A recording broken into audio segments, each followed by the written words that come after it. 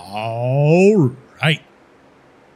So now we're back at the Free Code Camp JavaScript Algorithms and Data Structures Beta main page. We just finished the Learn the Date object by building a date formatter course, and now we're on to our first certification project for the uh, beta for the JavaScript beta course, Build a Palindrome Checker project.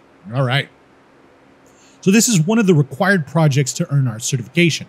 For this project, we're going to build an application that checks whether a given word is a palindrome. All right, so let's get into it.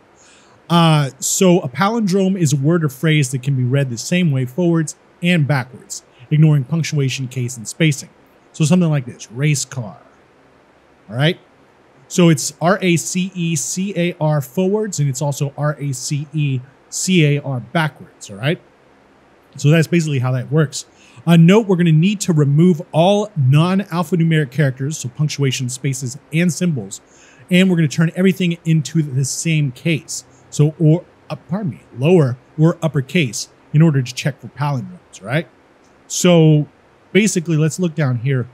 Uh, we've got something like uh, this is not a palindrome. This is a palindrome. Okay, so we've got my age is zero comma space zero C ega yum. And that is a palindrome because it says my age is zero backwards, even though there's a uh, comma here and a period here. And this is capital, right?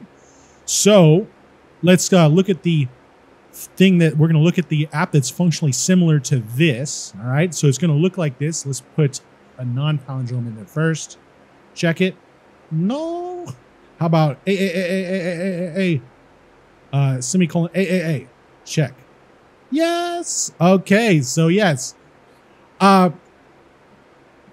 and if you've been following the the channel uh, for a while now, and you've seen my other uh, what are these called certification projects, you know I'm going to be skipping the CSS part because uh, we can get through this without doing that. All right. So just letting you know, if you want to uh, CSS it up, by all means, but we can definitely get through this without the CSS. That being said, so now we're on to user stories one, and we'll see you next time.